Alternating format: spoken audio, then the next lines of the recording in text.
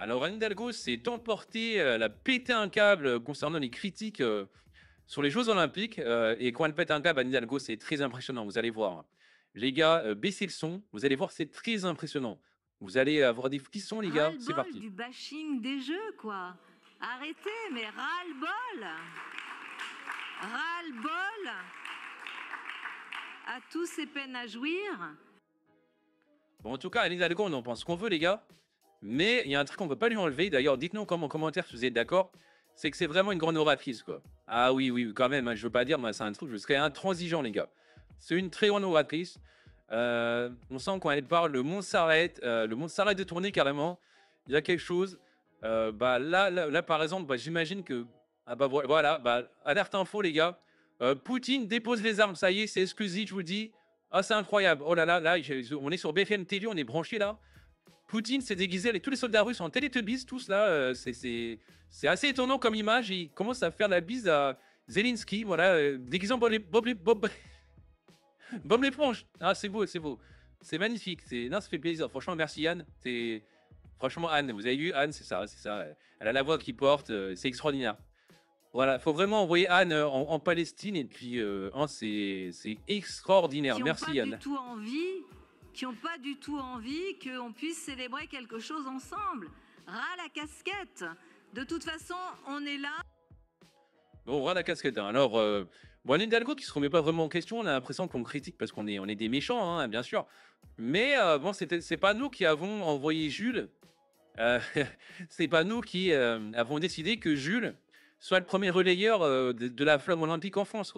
Mais vous vous étonnez d'être critiqué, mais vous vous moquez de qui, sérieux? De qui se moquent ces gens Euh, Alors que Jules fait la, la promotion du narcotrafic et de la violence sy- systématiquement. Et là, les qui chantaient, avec des paroles pas possibles devant Macron. Eux, ça s'est passé comme une lettre à la poste, c'était cool, Macron était tout souriant. Quand le vous dit que l'immigration et puis tout ce qui s'ensuit, tous ces trucs-là, euh, c'est pas un problème mais un projet pour le gouvernement, c'est réel. C'est pas, euh, pas un slogan, hein, c'est vraiment réel. Après, on a eu Soprano qui a, qui a, fait, un, signe de ralliement en frère musulman pendant son concert. On a eu aussi euh, un mec, euh, allons, allons-y, allons-y, je allons-y. Euh, connais pas trop un mec qui était torse nu, habillé en gangster.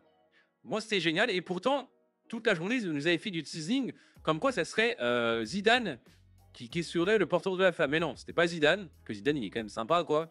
Bah non, c'était Jules. Un mec qui arrive casquette à l'envers, non mais n'importe quoi. Après, on a eu tous les drag queens qui ont fait le parcours de la flamme. Ensuite, euh, on, aura Ayana Kamura, ce sera le, le, le clou du spectacle. Et surtout, je ne sais pas si vous êtes au courant, mais euh, le parcours de la femme olympique à Paris, vous allez voir, c'est quelque chose. C'est vraiment, ça vaut son pesant de cacahuètes, c'est parti. Alors, euh, le parcours de la femme à Paris, vous allez voir. Alors, on a Place de la Catalogne. Alors, je ne sais pas si vous êtes de Paris, mais grosso modo, le nord, c'est pas terrible. Et le- l'est, c'est pas terrible, mais le reste, ça va. Euh, Enfin, moi, je, je suis pas de Paris, mais j'y suis déjà allé et je connais. Euh, Roland Garros, ça va. Biraikem, ça va. Arc de Triomphe, ça va. Butte Montmartre. Et là, on sait pas pourquoi. Ils vont faire une petite escale comme ça, un petit détour à Port de la Chapelle. Voilà, je, je pense pas que c'était ultra nécessaire de, de les faire passer à Port de la Chapelle, mais si. Vu que la France de Macron et de d'Hidalgo, c'est Port de la Chapelle, bon, bah, il faut passer par, euh, par, on va dire, le Jérusalem français de, des gauchistes et des centristes. hein. Euh, Port de la Chapelle, alors, euh, pour ceux qui connaissent pas, c'est un ramassis de de, drogués. Euh, Il y a plein de drogués là-bas. c'est pittoresque, on va dire. C'est très pittoresque.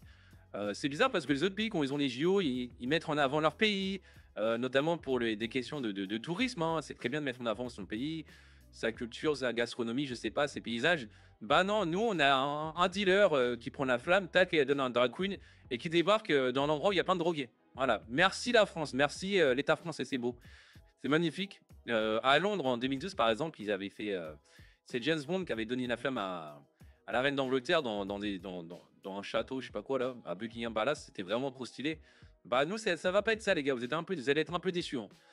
Euh, et après, ils vont à Bassin de la Villette. Et en plus, il n'est pas marqué, mais je pense qu'ils passent par Barbès, euh, le quartier algérien de Paris. Mais tout ça, c'est la France de Macron. Hein, il n'y euh, a rien d'étonnant finalement. Donc, tout ça, c'est magnifique. Ça, annonce du très très lourd. Bon, bah voilà. Bon, bah je pense que nos critiques sont assez justifiées. Mais Anne Hidalgo, ne, non, non, elle comprend pas. C'est pas grave. Hein.